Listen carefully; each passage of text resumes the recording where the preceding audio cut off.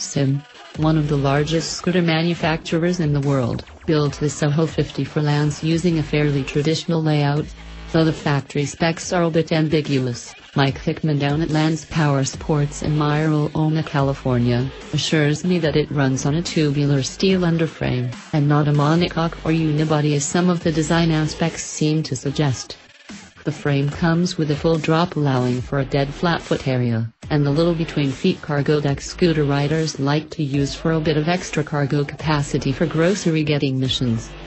Telescopic front forks buoy the front end, while a single, coil-over shock floats the rear between the swing unit motor and rear subframe. The rear shock mounts to the left of center, which leaves it looking a bit asymmetrical from the rear, but it makes sense because that is closer to center of mass for the drive unit. The 16-inch aluminum rims, an almost unheard of size for scooters, mount the road rubbers. These uncommonly large wheels handle rough patches better than the smaller versions, track well on the straights and make the Soho 50 corner with more enthusiasm than one might expect. I've always hated the little, wheelbarrow tires many scooters run, and this makes for a refreshing change.